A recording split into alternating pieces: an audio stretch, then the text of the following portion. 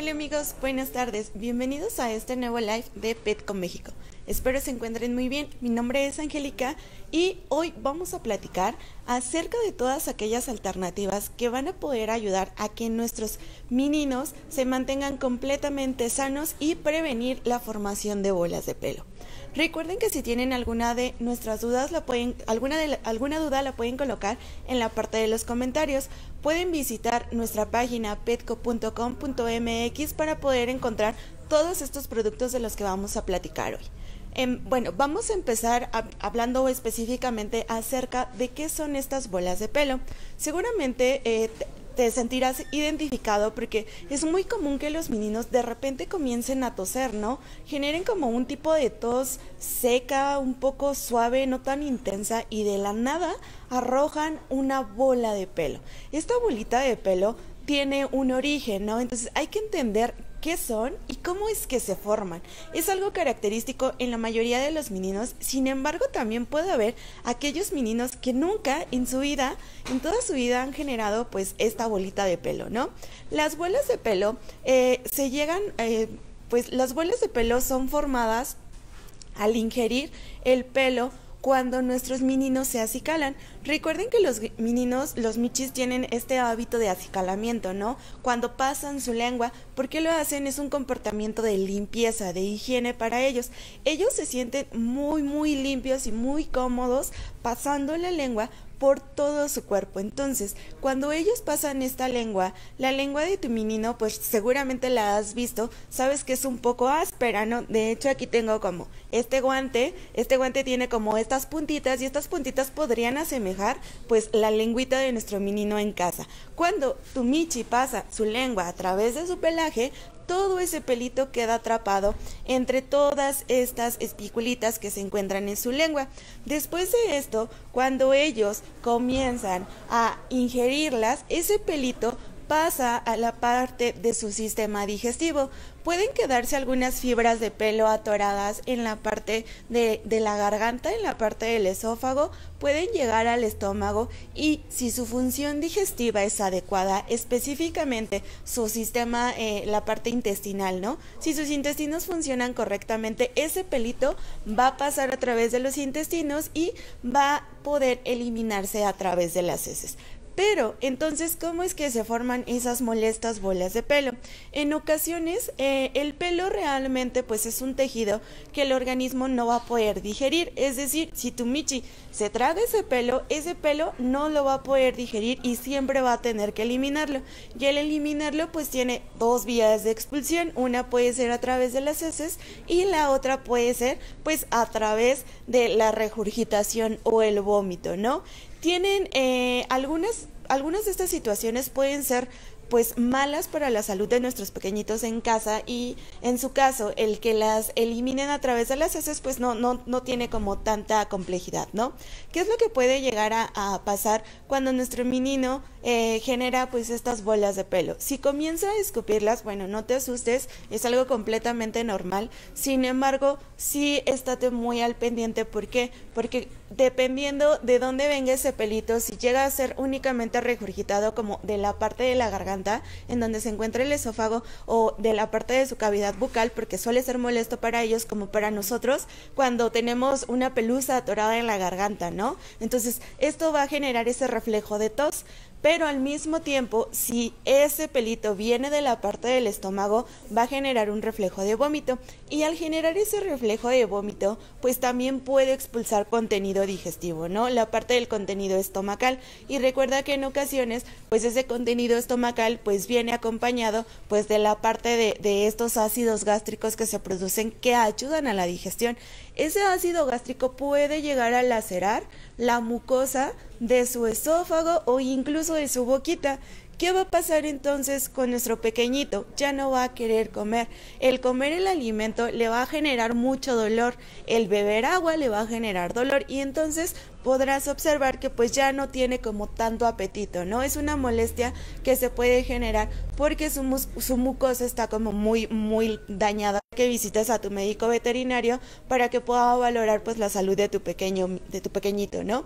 Y llegan a la parte del intestino y no tiene una correcta función intestinal, es decir, el para poder permitir el paso del alimento, ese pelito puede quedar atrapado en la luz del intestino, ¿no? Recuerda que el intestino es como un tubito, como una manguera.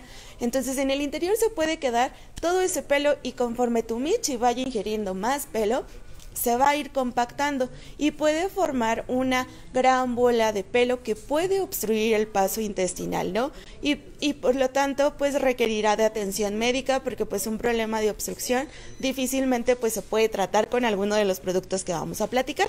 Pero bueno, ese es en el caso de qué es lo que pueden generar y cómo es que se forman, ¿no? Eh, en este caso, pues vamos a platicar un poco acerca de qué alternativas pueden ayudar a que tu menino se mantenga completamente sano y la formación de esas bolitas de pelo pues sea la menor. La primera, la primera va relacionada a la alimentación. Siempre eh, cerciórate de que el alimento que le brindes a tu pequeño en casa pues tenga la cantidad adecuada de fibra que necesita. Todos los alimentos para gatitos, todos, tienen que tener un mayor contenido de fibra, a lo mejor si lo comparamos contra uno que es para un, perrito, ¿no? Entonces, sí te van a ayudar, van a ayudar a tu pequeñito, van a ayudar a que entonces su intestino se mueva adecuadamente, pero hay aquellas alternativas de alimentos especializados en control de bolas de pelo, ¿no? Son como estos. Dicen Herbal Control, ¿no? Este tipo de alimentos tienen la característica de tener algún tipo de fibra especial o una mayor cantidad de fibra, ¿no? Por ejemplo, este aquí que es Royal Canin utiliza una fibra muy especial que se llama psyllium y que al mismo tiempo permite que los intestinos tengan un correcto funcionamiento para evitar que el pelito se quede atorado en su intestino y entonces pues le genera este tipo de problemas de salud, ¿no? Además de esto, los alimentos que están especializados para el control de bolas de pelo también suelen incluir diversos nutrientes como las proteínas, los antioxidantes, vitaminas, minerales y ácidos grasos omega 3 y omega 6 que ayudarán a mejorar la salud de la piel y el pelo. ¿Por qué hablamos de esto? Porque recuerda que al final de cuentas, cuando el pelo no está completamente sano, es muchísimo más fácil que se comience a caer. Y cuando se comienza a caer, es cuando entonces tu michi al momento de acicalarse, al momento de bañarse, va a comenzar a ingerirlo, ¿no? Entonces, estos nutrientes brindan una mayor protección hacia el pelito y hacia la piel de nuestros pequeñitos en casa. La siguiente alternativa son los geles laxantes. Eh, seguro en alguna ocasión pues lo has utilizado. Es un gel laxante que se debe de colocar. Generalmente pues lo puedes colocar en, la patita de tu, de tu michi y él pues al sentir esa viscosidad va a comenzar a, limpiarse, ¿no? Va a comenzar a limpiarse, va a comenzar a lamerse, a lengüetearse su patita para poder eh, quitar toda esa viscosidad que tiene. Es un gel viscoso, entonces eso le puede generar molestia en el momento en la patita y va a encontrar la forma de limpiárselo para poder consumirlo. Es muy fácil. Eh, cada diferente marca que tenemos o que encuentras en nuestras tiendas, pues tiene una sugerencia de uso, ¿no? Algunos te van a indicar que coloques media cucharadita, otros que, que se lo des de dos a tres veces a la semana. Esto depende también mucho de qué es lo que tu pequeñito necesita en casa. Eh, son sumamente palatables, entonces con facilidad los van a aceptar. Son los geles laxantes y estos pueden complementar a una muy buena alimentación para ayudar a disminuir pues, la presencia de esas eh, bolas de pelo en su sistema digestivo. El siguiente es este producto que es aceite de salmón. Hace algunas semanas platicamos, hace algunos eh, lives, platicábamos acerca de este producto. Es un aceite de salmón puro, ¿no? Es un aceite de salmón rico en omega 3. Rico en omega 3 que al final de cuentas permite mantener mejor nutrido el pelaje de nuestro pequeñito. Entonces, este lo puedes adicionar a sus croquetas, lo puedes mezclar y él lo va a consumir y va a tener grandes beneficios para la salud de su pelaje. El siguiente punto es eh, la parte de la higiene del pelo. No es común que nosotros cepillemos en casa a nuestros pequeñitos, a nuestros meninos, porque nosotros asimilamos o damos por hecho que cuando ellos se acicalan, ya se están bañando, ya se están limpiando y por lo tanto no necesitan pues el uso de estas herramientas. No, es todo lo contrario. Esto va a permitir eh, que nosotros removamos o retiremos la mayor cantidad de pelito muerto que llegue a tener y por lo tanto cuando él se bañe, cuando él se limpie, cuando él se acicale, ya no ingiera este pelo y por lo tanto ya no se formen esas molestas bolas de pelo, ¿no? En este caso, ¿qué alternativas puedes encontrar? Cepillado. Recuerda, pues si tu, si tu Michi está acostumbrado al manejo, a la manipulación, a que lo cepillemos, pues puedes cepillarlo diariamente de acuerdo a la herramienta que se ocupe por el tipo de pelaje.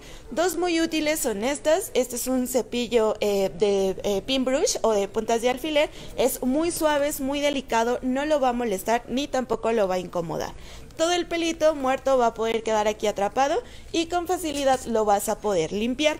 Y en este caso este es un cepillo de cerdas suaves. Son cerdas sumamente delgadas, son cerdas de nylon que se vuelven una alternativa, este cepillo se vuelve una alternativa ideal para aquellos gatitos que tienen pues el pelaje más corto, ¿no?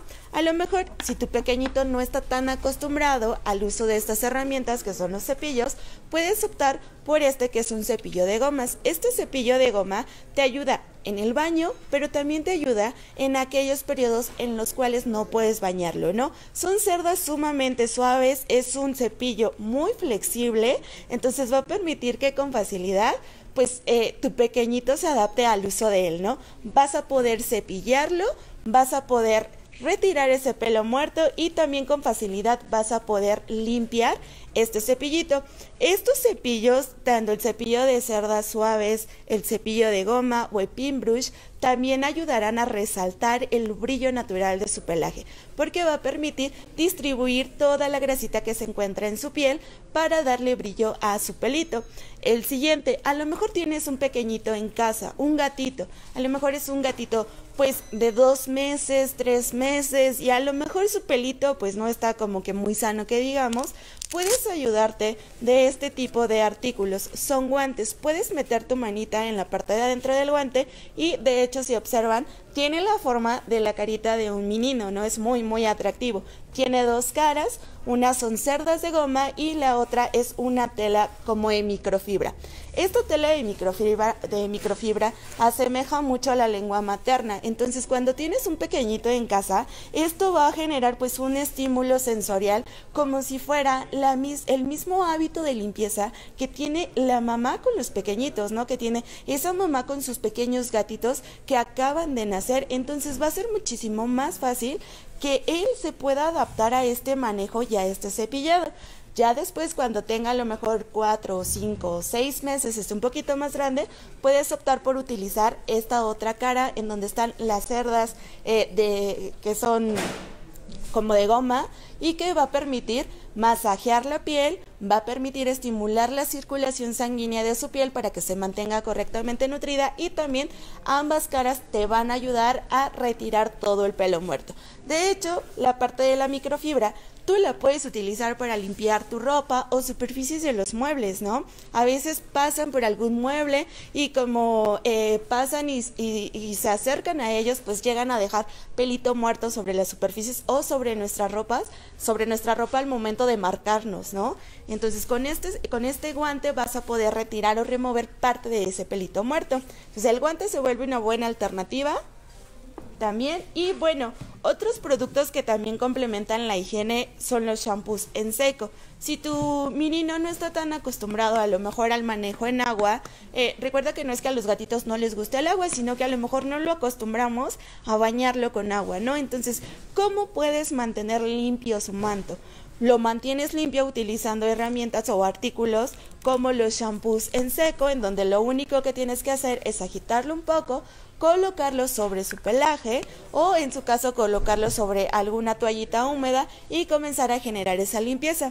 Esto va a permitir que el pelaje se mantenga más limpio, pero al mismo tiempo te va a ayudar a remover todo ese pelito muerto. Entonces, cuando tu pequeño menino se lengüetea, se acicala, llega a ingerir y genera esta bola de pelo. O en su caso, a lo mejor el shampoo en seco pues no es una alternativa, puedes optar por las toallitas húmedas. Contamos con diferentes marcas de toallitas húmedas que también al utilizarlas y al pasarlas por su manto, por su pelaje, van a permitir remover o retirar todo ese pelito muerto, ¿no? Recuerda que es una serie como de, pasos que van a permitir que al final removamos todo ese pelo muerto, mantengamos nutrida la piel, le demos fuerza y vitalidad al pelaje y por lo tanto la caída pues vaya disminuyendo poco a poco. Hay algunas eh, razas de gatitos que a lo mejor son más susceptibles a que se les caiga el pelaje, es muy común. Eh, hay otros casos en los que no. Em, pero bueno, todas estas alternativas seguro te van a poder ayudar. Entonces recuerda, puedes habituar a tu pequeñito a acostumbrarlo a usar este tipo de herramientas y en su caso recordar siempre tener una muy buena alimentación. Hay un producto más que a lo mejor no ven aquí en pantalla, pero quizás muchos de ustedes conocen. Es catgrass, es un pasto, es, es un pasto en donde vienen unas semillas con un sustrato y que en casa podemos germinar. El ofrecerles este catgrass una vez que ya ha germinado a nuestros meninos, le brinda ese extra de fibra que necesitan, les encanta masticarlo, bueno, les encanta jalarlo, les encanta desgarrarlo, em, en la parte de triturarlo y comerlo, y al final, pues sí les representa un beneficio porque estimula el movimiento de sus intestinos para que entonces no se formen esas molestas bolas de pelo. Bueno, voy a resolver algunas de las dudas que tienen en este momento.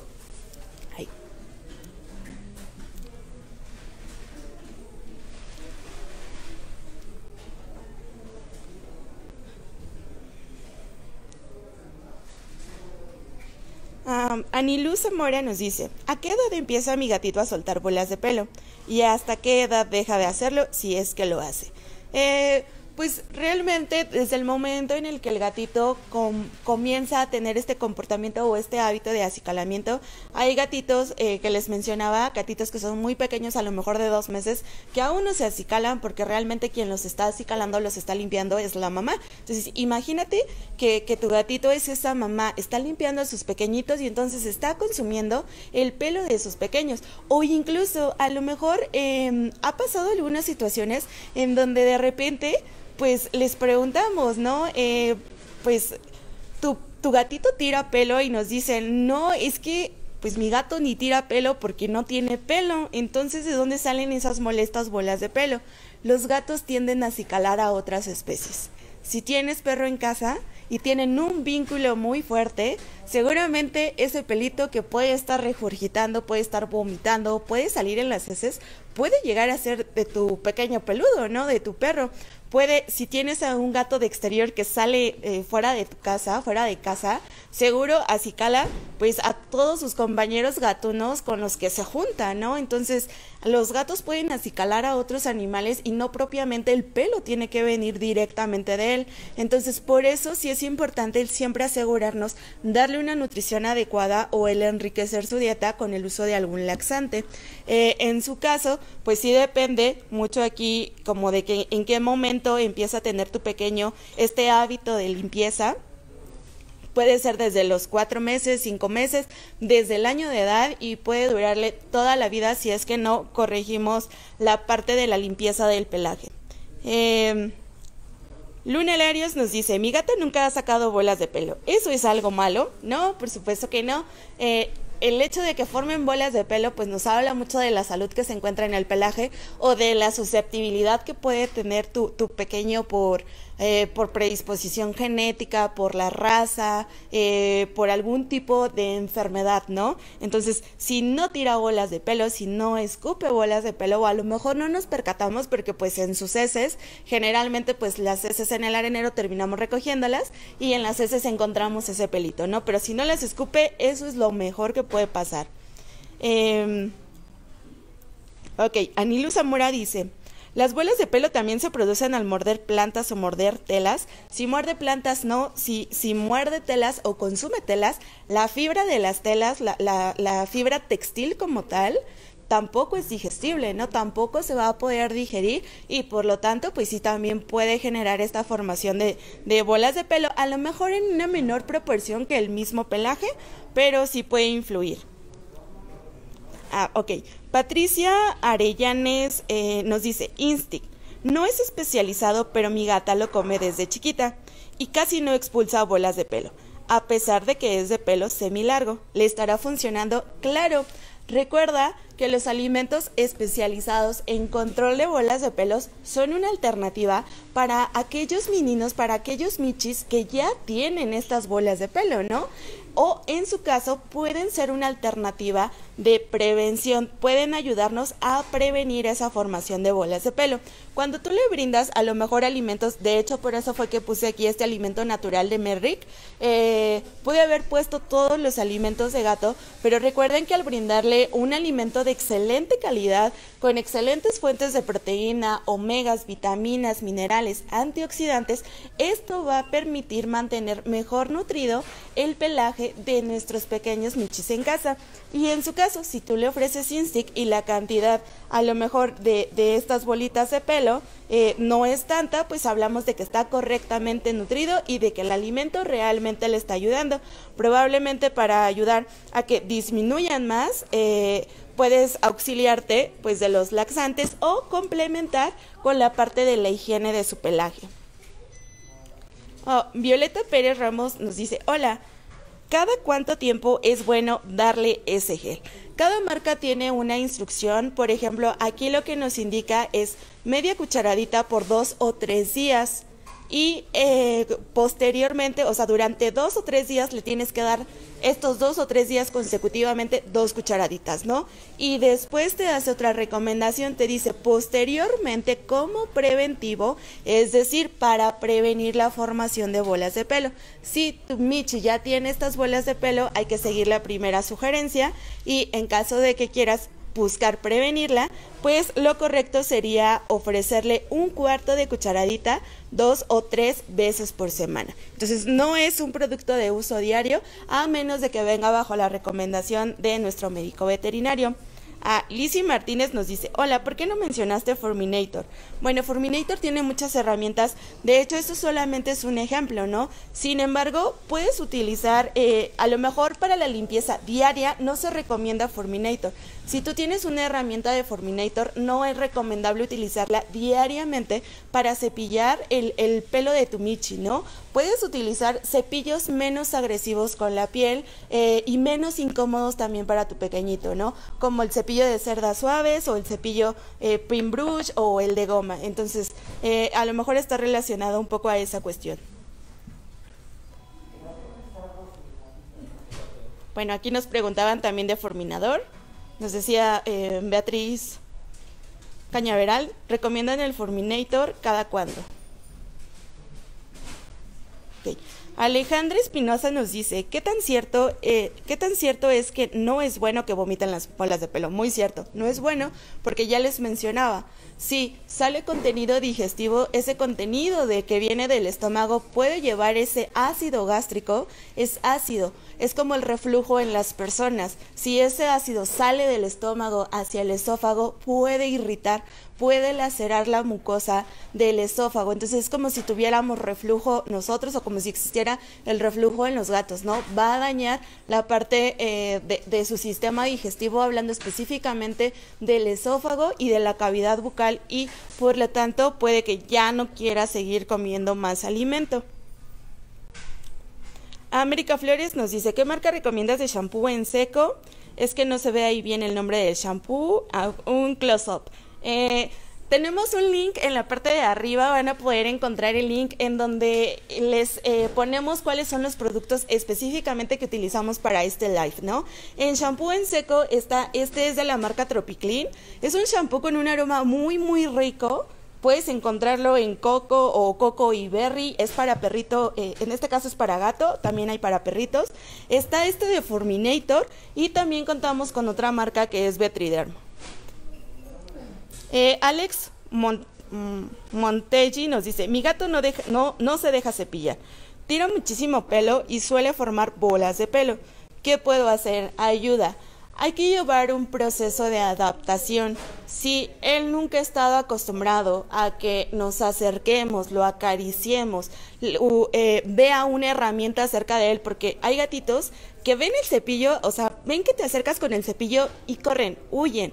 ¿Por qué? Porque no tienen una asociación positiva hacia el artículo que estamos utilizando. Entonces aquí es un poquito más de tema de entrenamiento, ¿no? Cómo es que hemos ido nosotros entrenando a nuestros pequeñitos para poder aceptar diversas manipulaciones o manejos con herramientas. Si tu gatito no se deja eh, cepillar, pues yo te sugeriría en este caso que empezaras eh, con el guante, con la parte de la microfibra, si se deja acariciar. Si no se deja acariciar, no se deja tocar, empieza con las caricias, empieza acariciándolo, empieza colocando la manita poco a poco sobre su cuerpo, que vea que no es nada malo después con el guante y seguramente en algún punto cuando ya haya generado esa asociación positiva o ese vínculo positivo hacia el producto, eh, puede ser semanas o pueden ser meses, pues ya puedas comenzar a utilizar los cepillos. En su caso, si ya tiene bolitas de pelo, pues la mejor opción es el gel, ¿no? El gel con un alimento, a lo mejor, eh, dependiendo del alimento que le ofrezcas, puedes utilizar una dieta pues muchísimo más especializada. Creo que tienen muchísimas preguntas acerca de este tema. Voy a seguir leyendo algunas, voy a leer dos más y pues vamos a tener que terminar el live, ¿no? Sin embargo, recuerden que nos pueden dejar todas sus dudas y a lo largo del día les vamos a dar respuesta acerca de todo eso eh, que está relacionado a este tema.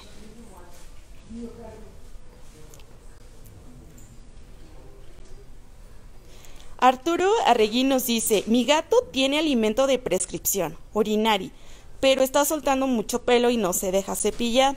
¿Qué puedo hacer? Em, en su caso, pues ya es un alimento de prescripción y ahí sí no podemos cambiar de alimento, ¿no? Entonces, lo que puedes hacer, uno, es ayudarte de laxante para que pueda expulsar todo ese pelito. Dos, puedes utilizar eh, los omegas 3 del aceite de salmón que fortalecerán su, su pelaje para evitar que disminuya tanto, ¿no? O tres, la misma sugerencia que hacíamos en un caso anterior en, en este Michi que no se deja cepillar, ¿no? Hay que empezar a adaptarlo. A veces ya cuando nuestros meninos tienen eh, a lo mejor más de 5, 6, 7 u 8 años, podemos llegar a pensar que es difícil. La realidad es que no lo es, ¿no? Es mucha dedicación que nosotros y paciencia que nosotros debemos de tener con ellos, ¿no? Es acostumbrarlo primero a que, a que se adapte a que lo estamos acariciando, a que lo estamos eh, tocando y después puedes utilizar pues una toallita húmeda, o en su caso pues la misma sugerencia del guante únicamente con la parte de la microfibra. Esta parte de aquí no se le sugiere utilizarlo porque si en ese momento tú llegas con tu menino y le pasas el guante con estas cerdas puede que entonces se sienta tan incómodo. Recuerden que los gatitos tienen muchas terminaciones nerviosas a nivel de la columna, ¿no? Y entonces cuando pasamos la manita por la columna, ¿qué es lo que pasa? Se erizan tienen terminaciones nerviosas. Es por eso que también es un poco difícil llevar a cabo este manejo a la hora del cepillado en aquellos gatitos que pues ya eh, tienen pues eh, son adultos y, y nunca pues los hemos manipulado, los hemos cepillado. Recuerden que todos los gatitos son susceptibles a formar bolas de pelo, hasta los que no tienen pelaje, porque pueden acicalar a otros, eh, a otros animalitos, ¿no? Bueno, creo que muchos nos preguntaban qué hacer en casos de que no se deje cepillar.